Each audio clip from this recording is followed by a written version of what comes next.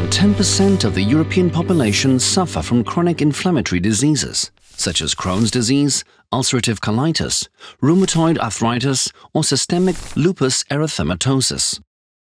But why is it often so difficult to quickly diagnose and treat these diseases? Let's take a look at an example.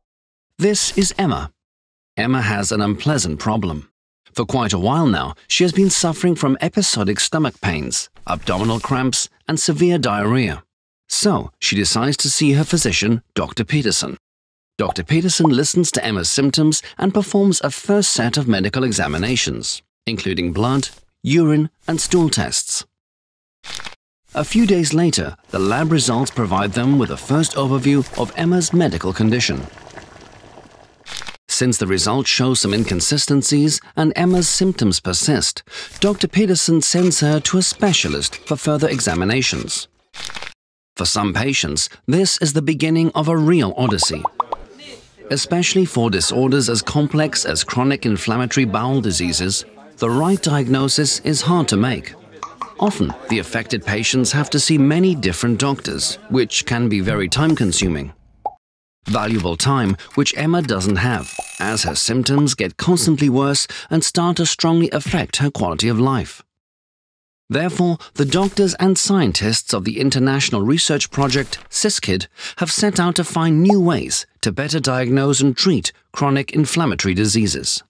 Supporting them in this mission, the 15 project partners receive funding from the European Union. Large numbers of patients like Emma are enrolled into the project in several inflammation medicine centers across Europe. Since chronic inflammatory diseases often affect multiple organ systems simultaneously, doctors of different medical specialties are cooperating closely in these centers to understand the many facets of the individual clinical pictures and to provide the best care possible with today's medicine. These doctors, together with their patients, also formulate the unmet clinical needs addressed in the SYSCID project.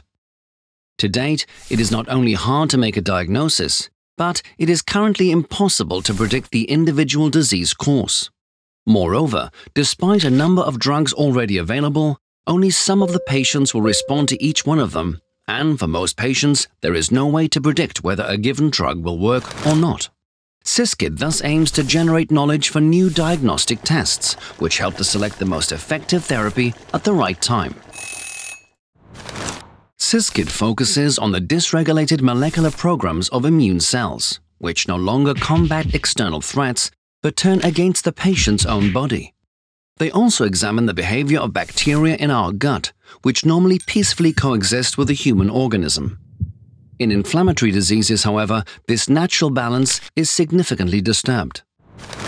Similar to geographical maps, which depict different information layers like height or population density, the cells of a human organism can be locally analyzed on different levels.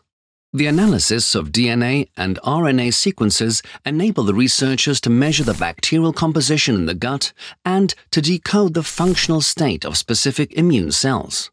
This approach also allows to understand disease-associated DNA variants and help to explain programming errors in immune cell types. How does this help to improve diagnosis and treatment in the future? Let's work it out for Emma's case. The doctors take blood, intestinal tissue, and stool samples. The composition of her microbiome is analyzed, and dysregulated immune cell programs are decoded through RNA sequencing. Variants in her genome are checked for alterations which might be responsible for the disease or cause drug intolerance. Out of this large amount of data, the doctors and bioinformaticians then have to filter out the essential pieces of the puzzle, which may explain Emma's condition. In this process, the protection of personal data is of crucial importance. Within SYSCID, thousands of patients are examined this way, and studies are underway aiming to identify new markers for disease behavior and therapy choice from these data. In Emma's case, luckily, the answer is clear without these novel tools. A rare variant in her genome is the cause of the disease and allows a personalized treatment tailored to her disease type. The examination helped to alleviate Emma's symptoms quickly so she can go back to her everyday life. For many others, the right answers still have to be found. Not all of the methods SYSCID uses may lead to new clinical routines, and genetic alterations like Emma's are only rarely identified as the cause of the disease. However, already in 5 to 10 years from now, deep insights into all levels of our molecular health map could become part of the standard diagnostic procedure. This could include decision support tools enabling a precise and personalized therapy for each patient. Ultimately, targeted reprogramming of dysregulated immune cells may be used to erase the disease program which drives chronic inflammation. Rather than suppressing symptoms, such therapies would, for the first time, target the cause of the diseases.